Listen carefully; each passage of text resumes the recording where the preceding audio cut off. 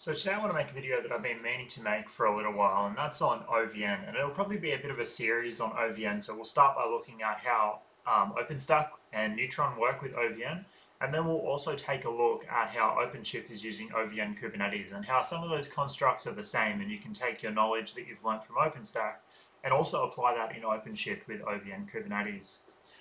So there's a fair bit of stuff that needs to be covered when we talk about um, OVN. So you first need to understand from the Neutron perspective how we use the plugin based system with ML2 to then use different providers for that network configuration. If you're used to Red Hat OpenStack Platform 13, um, 16.1 with NFV workloads, then you'll be familiar with ML2 OVS. And that basically used the Open vSwitch driver to create open flow rules and that was really good from a layer 2 perspective. Open vSwitch is really good at doing layer 2 things.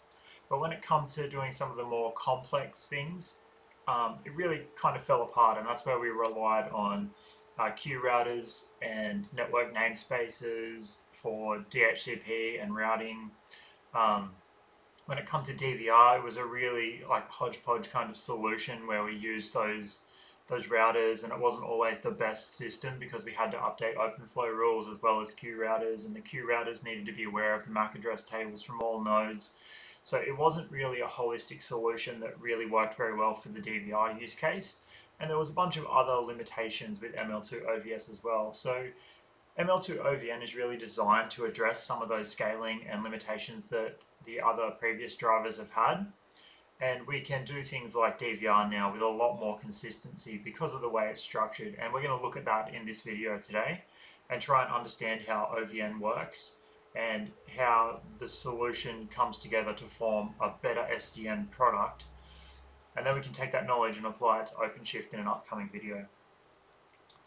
So one of the common things we need to do is if it doesn't work, we need to figure out why it's not working. So the other thing I'm going to show in this video is how to go through and trace packets.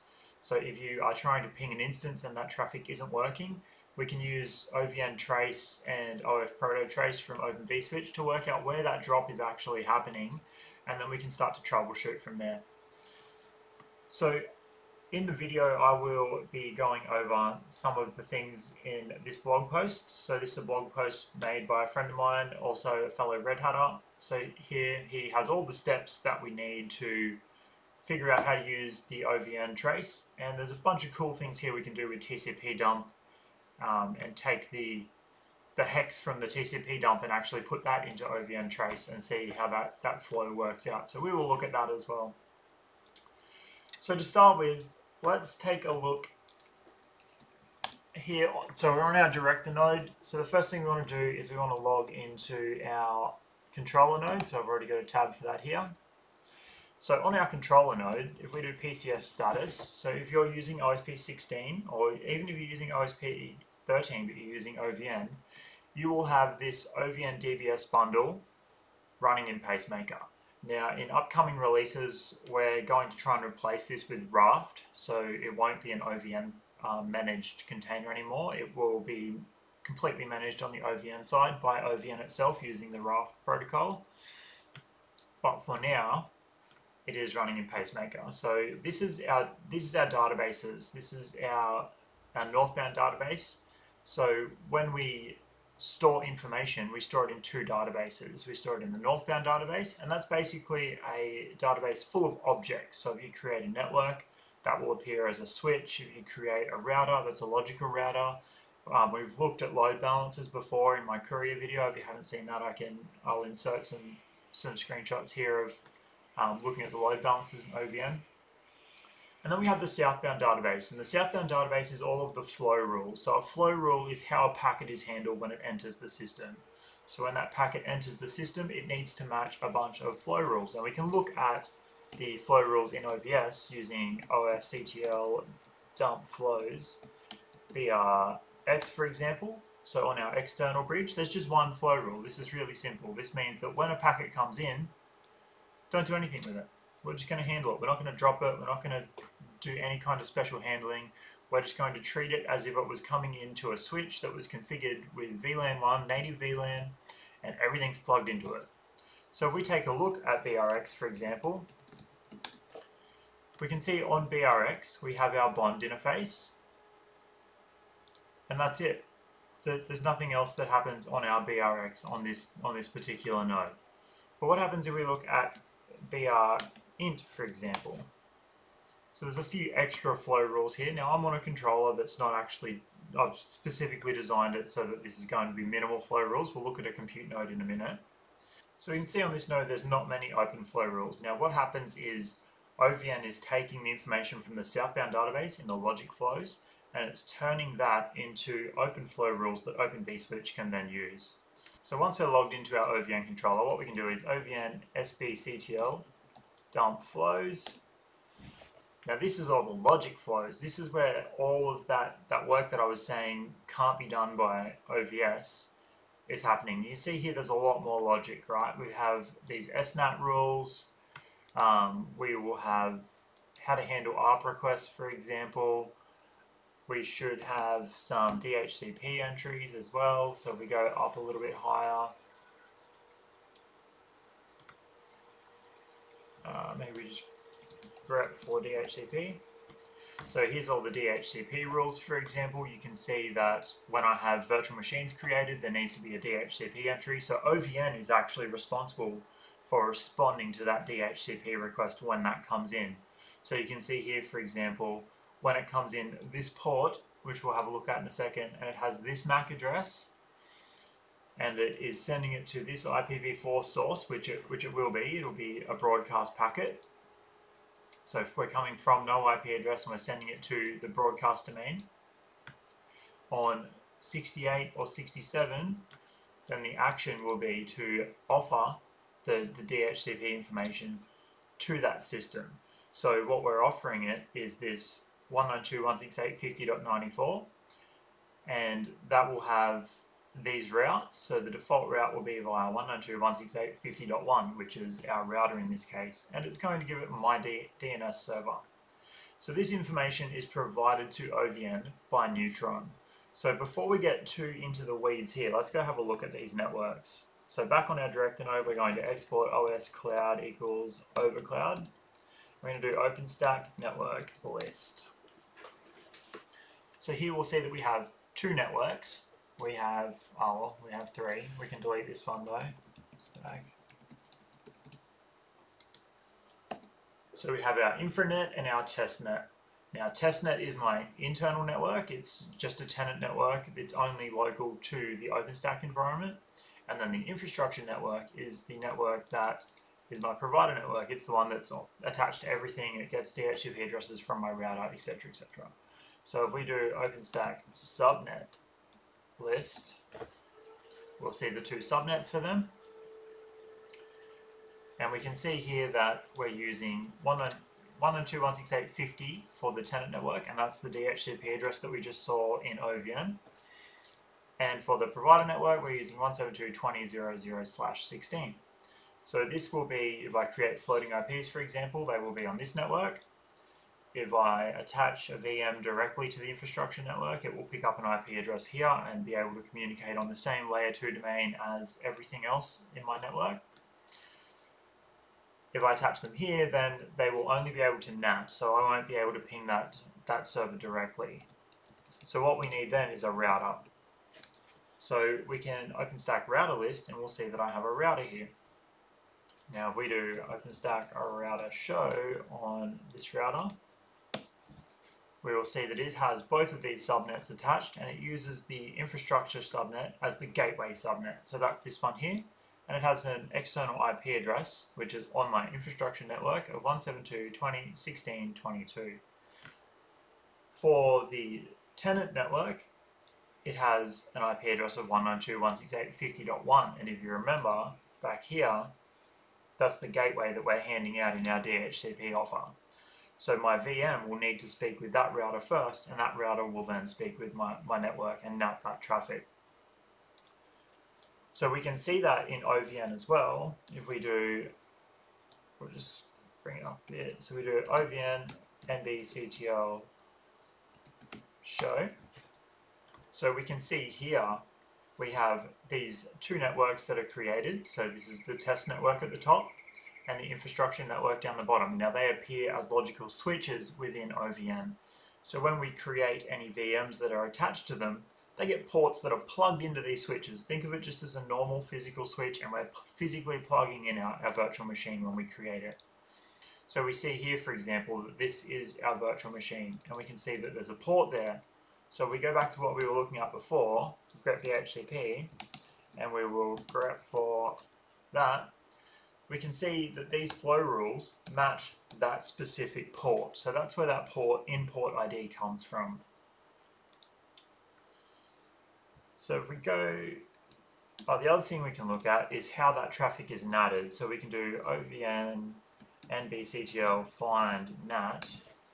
So this finds nat rules within the system. So we can see there, for example, that traffic coming from 192.168.50.0 slash 24 needs to be natted out this IP address. And that's the IP address of that router that we just looked at within Neutron. When we look down here, for example, we can see that what we have is a floating IP. So this floating IP has an external MAC address, it has a floating IP ID, and it has the router that the floating IP is hosted on the external IP address 172.20.16.20. So what happens when we add a floating IP address is that that router actually takes that port and starts speaking on behalf of our virtual machine. It's like a one-to-one -one NAT, and you can see here that we're doing DNAT and SNAT. So destination NAT and source NAT, all from this single IP address. That's how floating IP works. Whereas up here, we were just doing SNAT, so just source NAT. So when the VM talks, everything is source NATed from 172.20.16.22. Whereas here, I can directly reach this, this IP address and I can log into it, ping it, and it can also ping me and the traffic will appear to come from that IP address. And we can see that if we go here, I'll zoom in a bit. So if I ping that IP address, we can see I'm able to ping it. If I SSH to Fedora, at that, we can see that I'm able to log in and now I'm logged into a virtual machine running in OpenStack. And I did that all through the floating IP address in this case. So there are, there's multiple commands that we can use for NAT. So if you want to find out any commands, what I normally do is ovn nbctl dash dash help, and then I grep for what I want. So we're going to grep dash i nat. So here's some interesting information that we can get from the environment. So we need to specify a router in this case. So we can do ovn nbctl show, remembering that the northbound database is showing me all of the objects that exist within the OpenStack environment. So what we can do is ovn nbctl lr nat list and then give it a router ID, which in this case is this one. And we can see it gives us this AKA, which is really handy because that maps to what I've called it in Neutron. I don't need to know the specific UID, for example.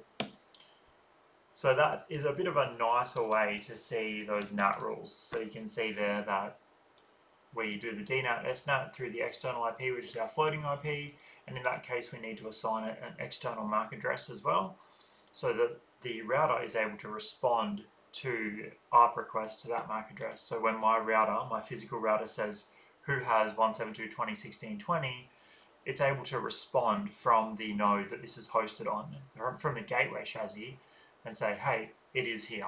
And then we can send traffic to it. So that's the high level of the northbound database. And I will, as I said, insert that clip of what um, load balances look like in OVN as well. But let's take a look at what the southbound database looks like when we do an OVN SBCTL show.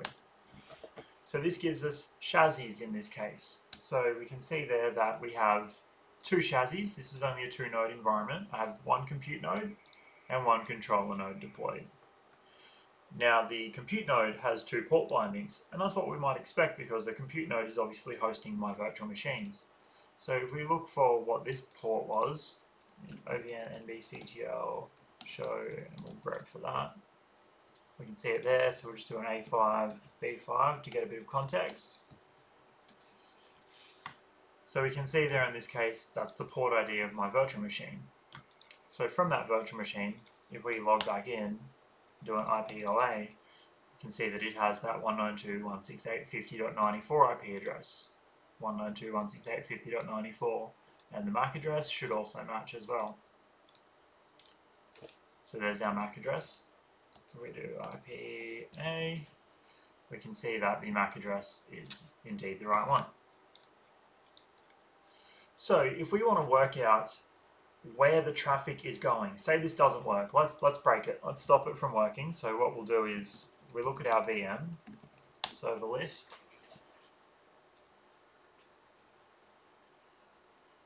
So there's our virtual machine. We'll do OpenStack server show on this VM.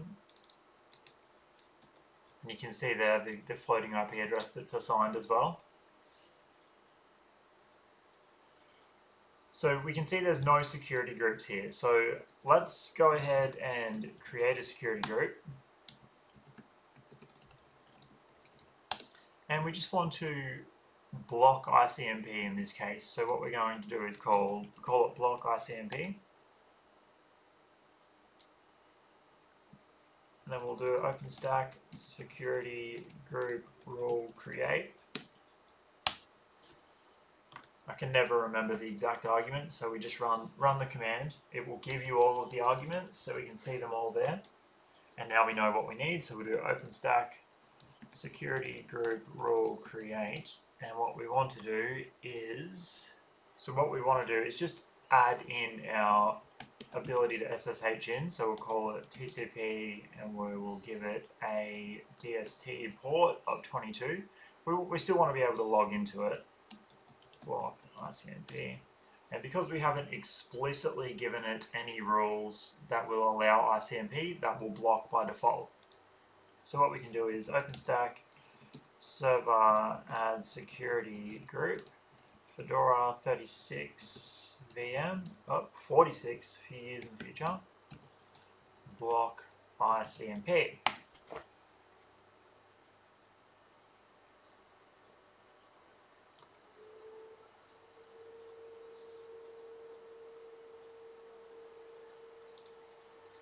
Okay, so I've disabled port security on that port, so we can do OpenStack port list.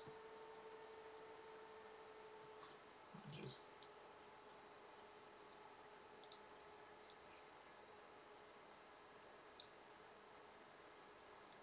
might be easier if my head's up the top. Okay, so this is our port. So we want to do OpenStack port show, and we'll what we'll see here is that I've actually disabled port security on this particular port. So if we look at port security enabled, we've got false. So what we want to do is do OpenStack port set enable port security on oh,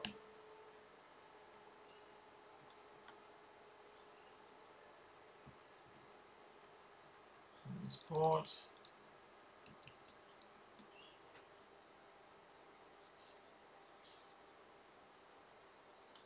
Okay, so we're enabling port security and then we will add in the security group again. Now, my connection has dropped at this point because there was no security group associated with that, so we should be dropping everything. So let's show Fedora 36, I did again, VM.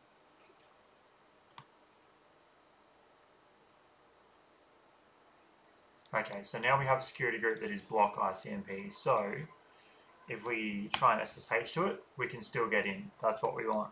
If we try and ping it, we can't ping that VM anymore.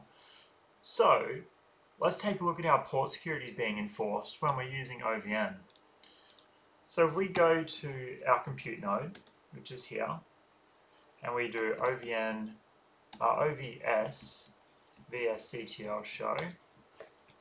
Here we can see a bit more interesting information. So in our BRX we have this EDH7 interface. Let's just do a quick TCP dump on this interface. And we're going to filter for ICMP traffic going to host 172.20.16.22. And,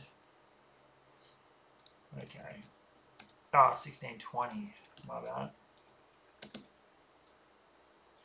So here we can see that ICMP echo request is actually coming in on the external interface. But how did my computer know to send that traffic to this specific compute node? Let's take a quick look at that before we dive into how that's being enforced here. So back in OVN, if we do OVN NBCTL show again, and we look at our router, so this is our router here, we can see it has a gateway chassis. Now this gateway chassis is going to correspond to a node in the southbound database. So we do OVN SBCTL show. Now we're looking for the node that ends in 911. In this case, it's this one. So with, that's our compute node. Now what that means is it's being used as the gateway for all traffic on that router. So there's something that needs to happen for that to work. So we do OVN NBC, OVN SBCTL list chassis we can see here all of the chassis that appear in the environment. Now obviously if you have a massive environment this is going to have heaps of nodes in it. But if we look at our compute node here, we can see that it has this special option called OVN CMS options enable chassis as gateway. Now what that means is that that node can be used as a gateway chassis. So this is a really important fact to remember. If you're deploying an environment with DVR, it doesn't necessarily mean that the compute node hosting the virtual machine will be the one that sends the traffic out to the network. DVR just means that it's distributed virtual routing. It could be on any node. The traffic could come from any node and any one point of failure won't result in failure for that traffic. So your VM could be on compute node 22 but the traffic might come out compute node 16. It depends which one is enabled as the gateway chassis and it depends which chassis gets the higher priority when it comes to routing that traffic. So if we look at LRP, so if we do OVN NBCTL LRP get gateway chassis and we give it a port, so we need the port name. So we will look at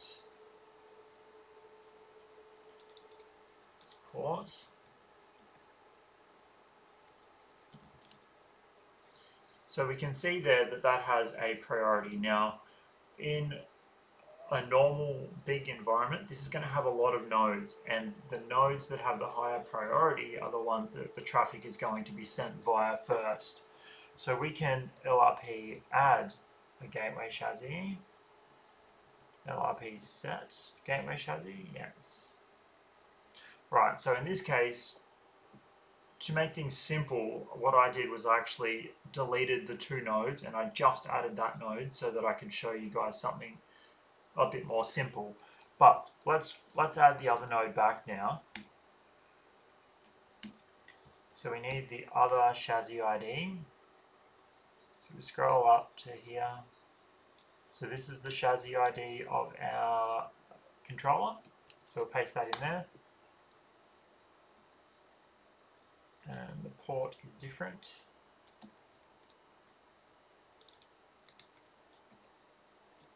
Now if we run it again, we can see that there is two. So in this case, the traffic will go via this one because it has the lower priority. But if it fails, then it will go via this one. And now you could have four or eight or any number that are in here.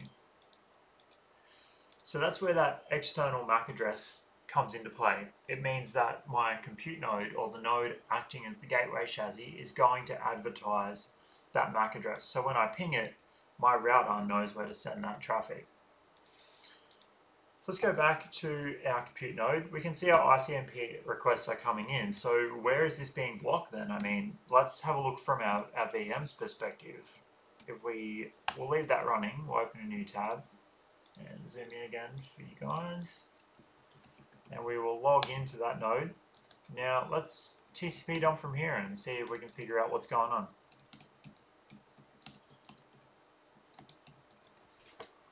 So the virtual machine is not seeing ICMP traffic. So if the traffic is coming to the compute node and the VM is hosted on the compute node, there must be something on this compute node that's blocking this traffic. So let's try and figure that out. So first let's start with looking at Open vSwitch. Where's that traffic coming in? It's coming in here on BRX and on this specific port. So let's do a dump flows here and see what we can figure out. Dump flows on BRX. Yes, OF, because we're looking at open flow. So again, it's the same as our, our controller node. It's just one single rule. So everything is just plugged in and everything's going to see this traffic. So what else do we have on our bridge then? We have BRX, which is just an interface, but we also have this patch port. So interface patch provnet to brint. So that gives us a bit of a hint about where this is going. It's a patch port, which generally in Open vSwitch terms means it's going to another bridge. And we know that it has a name and a UID. So let's go and have a look in brint and see if we can find that patch port. I can actually already see it. It's right there. So there's our patch port. So what we need to look at now is what happens in OpenFlow on brint. Now this one's massive. There's a lot of rules here. So we can try and narrow it down a little bit if we do grep for the IP address. Let's try that. So that's a little bit easier. Now we have rules that fit on my screen and we can see everything that should match for, for this traffic. So if we take a look at the very first one, which is actually this one here, Let's see what's happening in this rule, and now my head's blocking it again. You know what, let's just go to the screen share, no one needs to see my face. So here, what happens? We're on table 11. We definitely are getting hits because the number of packets that have hit this rule are 54. So this is an ARP rule. So this is going to match on our ARP traffic. Now, it's going to match on any ARP request coming in for 172.20.16.20.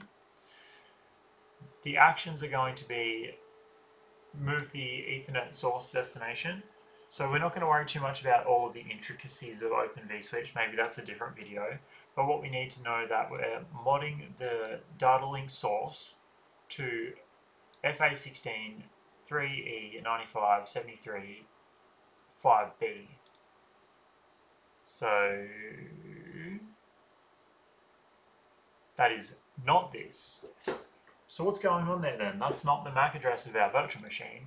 Why would we be modifying the ARP request to go to this MAC address? Let's find out what that MAC address is.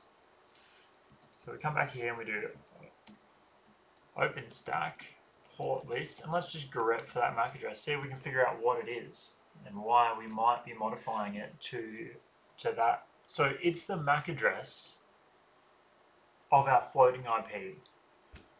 So what would what would be responding to this this ARP request then? Because our virtual machine doesn't have that MAC address, it's not going to respond to that that ARP request. It's not going to say I am here.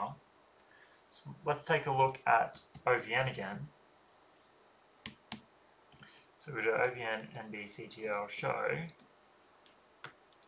so the MAC address we're looking for is this one, 735B. So where does that appear? So we can see from that output, actually doesn't appear in OVN. So what's happening with that flow then? Maybe let's, let's keep reading and we might figure it out. So we modify the MAC address, then we do a bunch of other stuff related to ARP, and we assign this packet to some registers. that's just a way for OVN to keep track of it and then we resubmit to table 37. So we can dump specific tables by, by doing table equals 37 in our dump flows command. Let's just clear the screen, we'll do that again. So this is a really small table. So what happens when we get here then? So we first come in,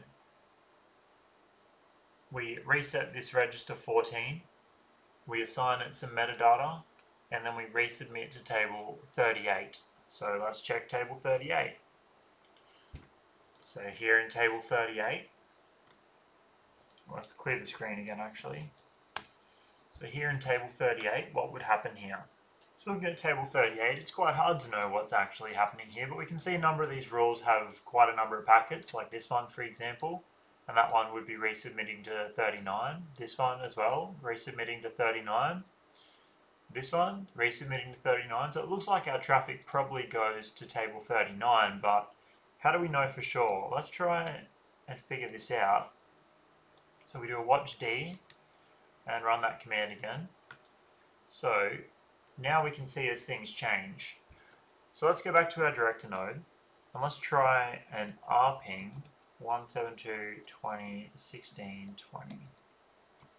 So that's responding. So this is sending out an ARP packet. We're using ARP because we can't we can't actually ping it. So we're just using ARP. Now let's go back to our compute node and see if any of these rules are incrementing really quickly. So it looks like these two are incrementing. Okay, let's stop the arping and see if everything is still incrementing there.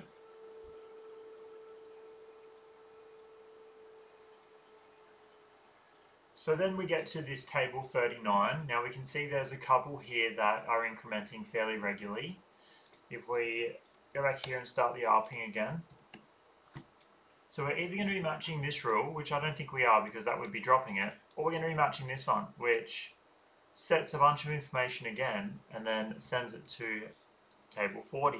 Now obviously this is very cumbersome to do this. This is the point I'm trying to illustrate is there's a lot of these rules and it's going to be very difficult to sit here and manually read through each one.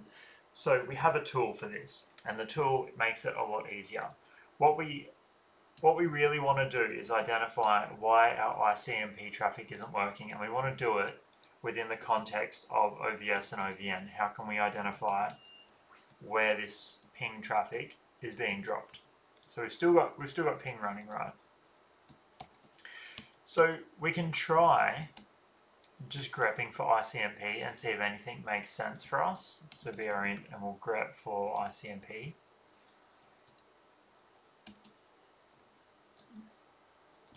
So there's still quite a lot of rules. I guess we can try and filter it out a little bit by removing some of the things we don't care about. So here we have some rules and they're just resubmitting to table 12. So that, that still doesn't really help us. So what we need to do then,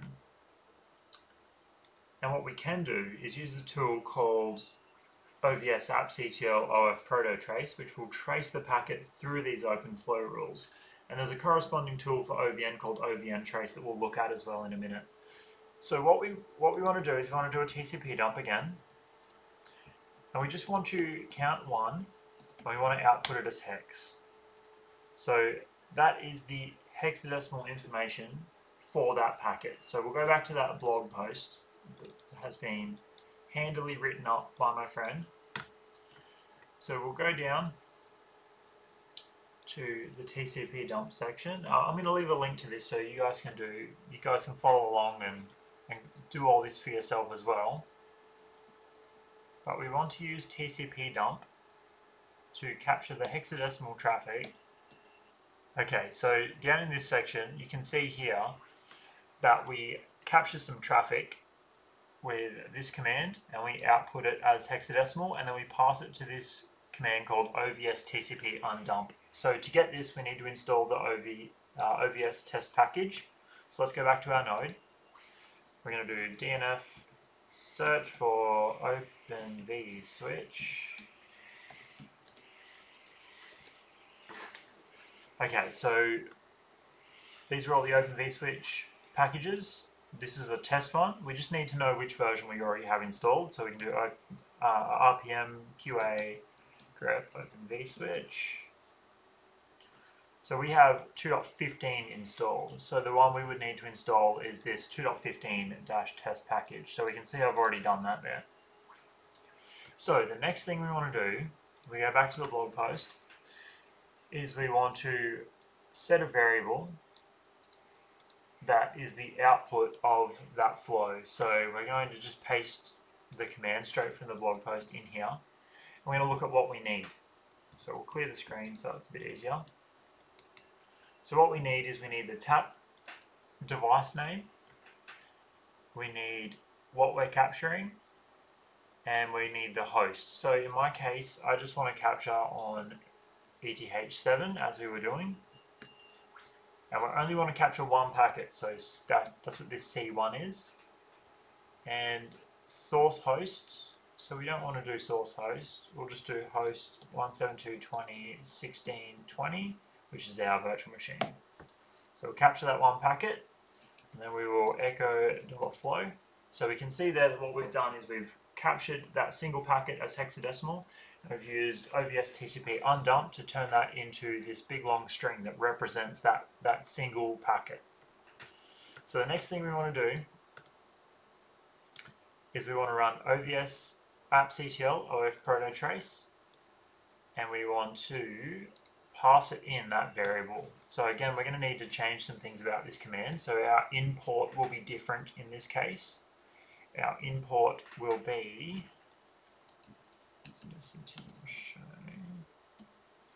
if you want to see the ports, you can do ofctl show br int. This will show the ports on that bridge. So in our case, this is going to be coming in on port 30 because that is our patch brint to brx. So we're going to do it on port 30. So I'm going to paste in the command again.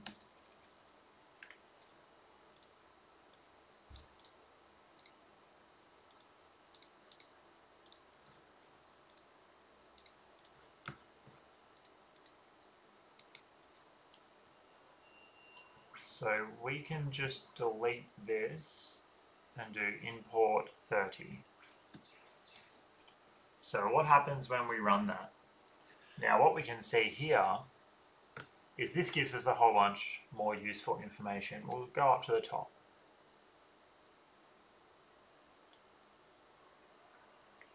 So we run that command and what it's done is it's unpacked that flow and it's determined that it's ICMP traffic it's coming from a destination source MAC address of this, and it's going to this MAC address. It's coming from a network source of 192.168.185. So we go here and do IPOA.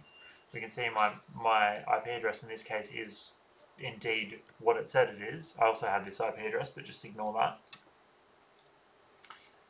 It's going to this IP address, it has TTL of 63, now by default 64, so why 63? Because we've hopped through my router to get there, so we've had to decrement the TTL by 1. It's ICMP type 8, which is an echo request. Now this next section shows us what flow rules that matches on. So instead of us reading through those flow rules to figure it all out, this tells us which flow rules it matches on. So it comes in on import 30 in table 0 with all this information and it gets resubmitted to table 8. Table 8 resubmits to 9, 10, etc, etc, etc, all the way down until we get to table 30. Table 30 says that anything with the destination MAC address of this needs to go to 37. 37, we keep following the bouncing ball all the way through all the tables, we end up on 65. We can see we clone it and we are resubmitting to a table 8. So we resubmit to table 8, 9, we follow the bouncing ball again. We come down to this table 19, IP metadata. Anything with a network destination of 192.168.50.024. Decrement the TTL. Okay, so if we're decrementing a TTL, we know we're routing at this point. We change the destination IP address. We set the field to be the source MAC address now. So now instead of the source MAC address being the one from my router, we're changing that source MAC address to be the one from our Neutron router and we can see that back here. If we do OVN NBCTL show grep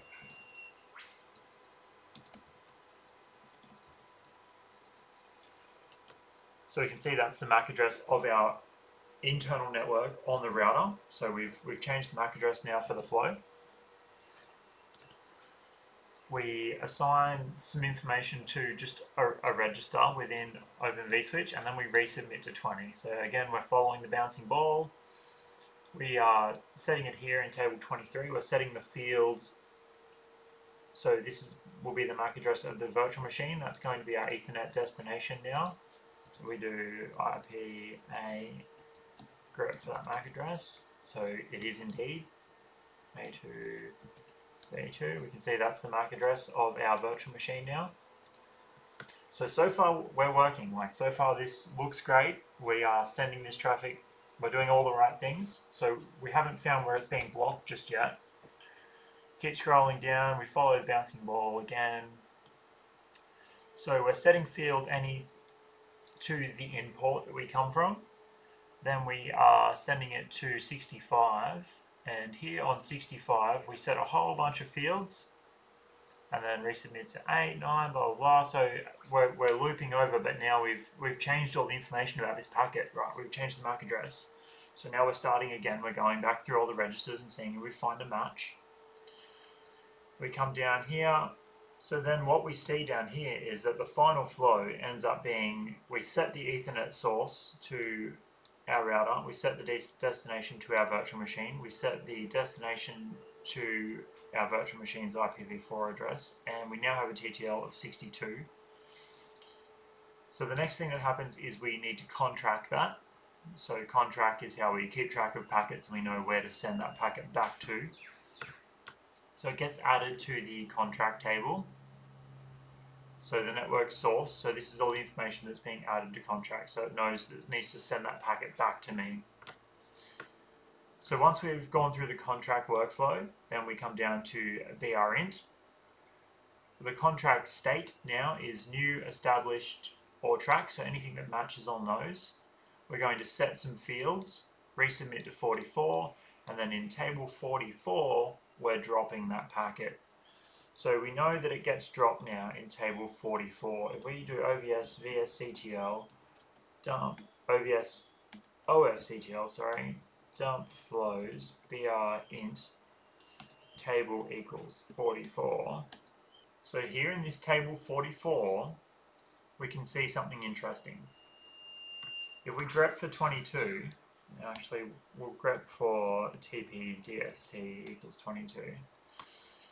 So if our destination port is port 22, then we resubmit to 45, but if it's not, if it's anything else, we don't seem to have a match for it. So what this tells us then is that there is a drop configured.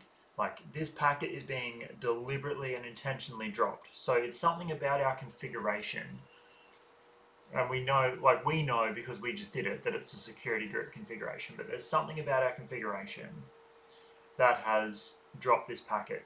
We know that everything happened correctly up until this point. That packet was coming into the compute node and everything is in place from a networking perspective for that packet to reach the VM, but there's just something wrong with our configuration.